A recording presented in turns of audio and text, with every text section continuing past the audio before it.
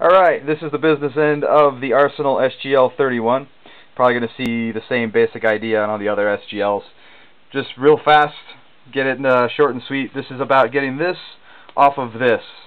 Um, I have to admit I was really kind of confused as to how to go about it. I knew I had this notch here and this little peg here on the front of the front sight and that was what was in the way but I didn't really want to mess too much for fear of damaging the rifle and did a lot of research, couldn't find anything so just through general trial and error, I actually figured out that this little peg is spring loaded.